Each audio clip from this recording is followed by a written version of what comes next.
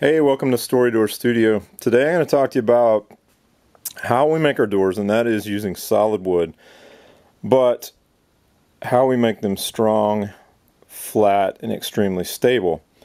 Uh, we do that by using solid boards, but with a single glue joint in the middle. If depending on the species of wood, sometimes it's great and, and uh, to have an actual solid wood door without any glue joints. But in this particular door, um, we're using mahogany and it needs to be extremely flat because it's going to a uh, somewhat humid climate. So I don't want the I don't want the the actual door to be doing any warping, curving, or whatnot. We want this to remain nice and flat and straight. So we do that by laminating. Um, we laminate actually two boards together, one here, one back here. We have one glue joint down the middle.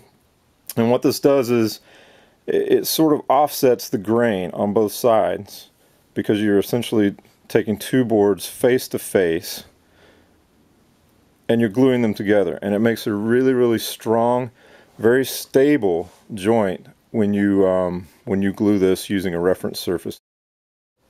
Alright so when we glue two faces together it's, it's, it's really important to have an extremely strong glue joint obviously because this has to last for a century or two right longer than our lifetimes. That's the goal. And what we've done here is I've taken a cutoff piece from this actual, you know, arch top that's been done for this door, and I'm going to clamp it, knock it with a hammer, and you'll see um, how a good glue joint reacts. Alright, so here we go. I've taken that piece that I just showed you cut off uh, from this rail, and I'm going to rap it with a mallet really hard. There's a glue joint right here in the middle between the two pieces. And we're going to attempt to break this joint.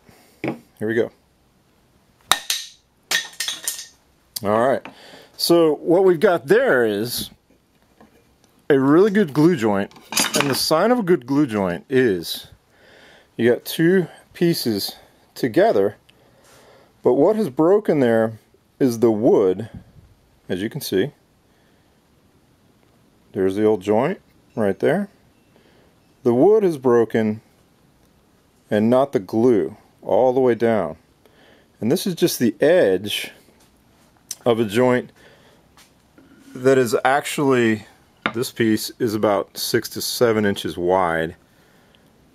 You can just imagine how strong these two pieces, these two faces glued together are with that glue in between them if I just knocked off a little, you know, half inch piece, it's not even a half inch wide, that's like three eighths of an inch wide, it's broken the wood and not the glue.